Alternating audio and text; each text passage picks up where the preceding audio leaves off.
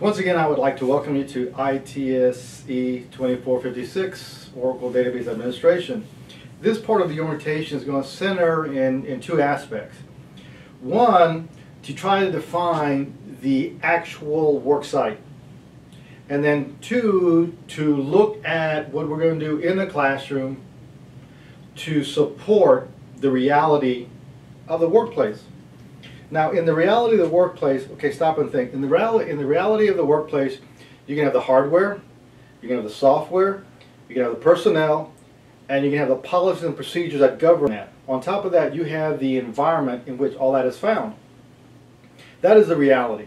Now, in the classroom, as we're going through this, we're going to have to increment our way through how does a DBA work with the hardware at the site. How does a DBA work with the software at the site? How does the DBA contend with the personnel at the site? How do the environmental policies and procedures of the organization impact what the process is? And then the environment is, is, is interesting because let me give you an example of an environment. If you're working in a hospital and you have a database in a hospital, the environment would be the health and safety of the patients in that structure, there is no margin for error. For example, in, in, in a hospital environment, and you're going to do some inventory control and you're going to order medications. Well, let, us back up a little bit. A lot of equipment has batteries in there, okay? So you, the, this particular set of equipment uses D-size batteries. Well, when you get them in, they're C-size batteries.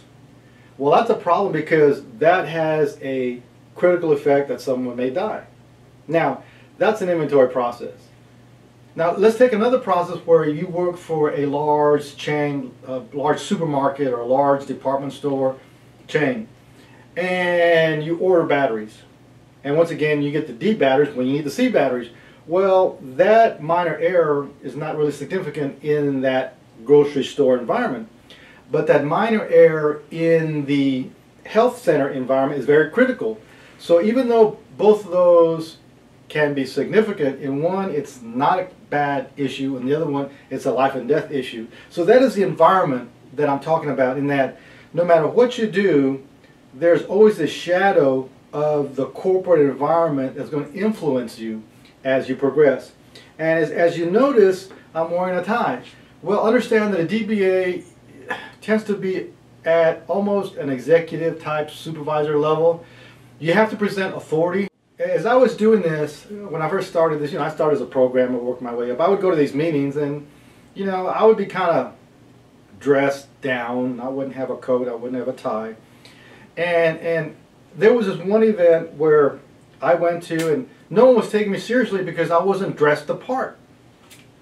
Well, I kept on voicing my concern, and finally, they voted me off the island.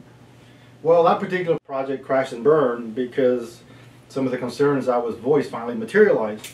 So, one of the other people I was I was working with complained about this, and they got "Well, you know, nobody took you seriously because you weren't dressed apart.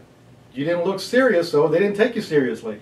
So, one of the things you have to talk about is is that you are in a position of significant responsibility the database is a tool. The tool is supposed to ensure the survival of the organization. You have a tool. The tool works, but it's not one size fits all scenario. So there will be positives and negatives, and you're going to have to deal with hardware, software, personnel, policies, and the environment. And that's what this class is going to work with.